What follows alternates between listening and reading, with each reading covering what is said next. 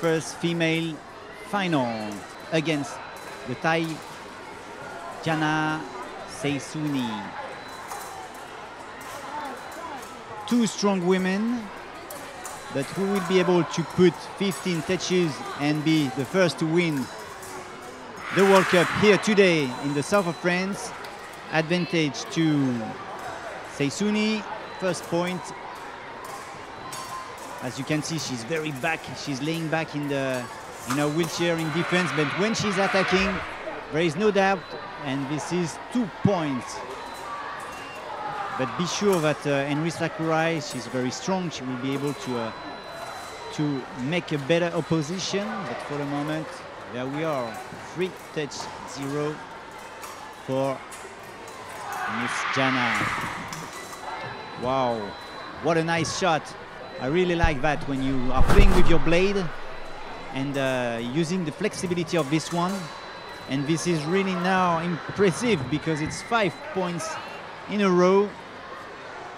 This is very big. You've seen previously in Sabre, you can come back from nowhere, but in épée, it's really, really, really hard. So what a big job would have the Japanese to do, but we can even say that uh, this is impossible mission right now. Oh, she's very far. You can see on this last touch, she, even uh, Jana touched uh, uh, the opposite side of, his op of her opponent. She's very strong and even she's protecting her touches. 9-0, it's huge now. I think Sakurai is not able to touch. She, she seems to be too, uh, too far away.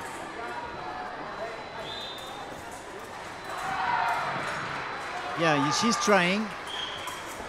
She's looking for solutions, but uh, it seems to be so easy for Saysunee. She's touching with this, uh, look, this, this cut. I like it. Very um, very efficient when you are fighting against a, uh, a left-handed uh, fencer. And there we are, the first point for Henry Sakurai. But as you can see, Jana can go very, very far. One more time, and she will be able to make uh, this final so quickly. And this is it with a very uh,